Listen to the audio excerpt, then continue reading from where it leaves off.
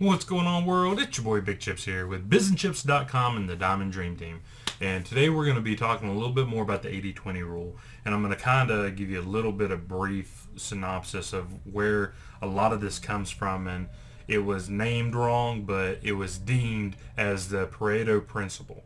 And basically saying that when uh, Vilfredo Pareto was coming up with this rule, he decided that, or he came to know that 20% of the population actually came up with 80% of the income.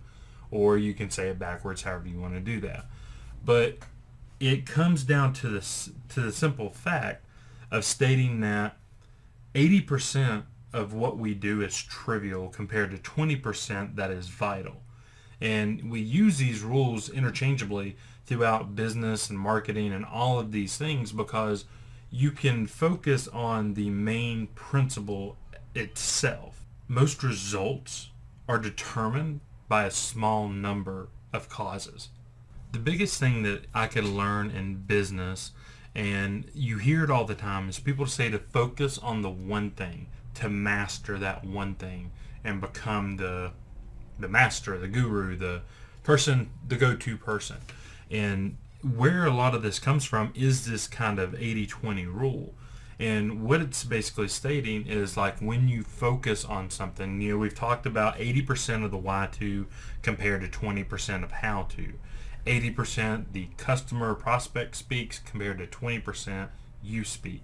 And it's saying focus on 80% of what your efforts, of your energy on the 20% that you do really, really good. And focus really intently on the things that that your core skills and your system that is you can produce very easily.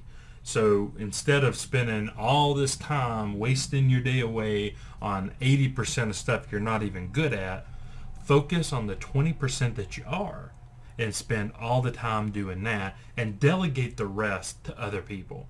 And the good thing about being being in a team or having employees or you know virtual assistants, whatever the case may be, and this is where you get into this whole being successful and getting these virtual reps or people that can be your assistant is you can focus on the 20% that you're really really good at. The things that your core skills can produce like that and do very very good at at that one thing or that two things or three things, whatever the case may be, and then delegate the rest to somebody else.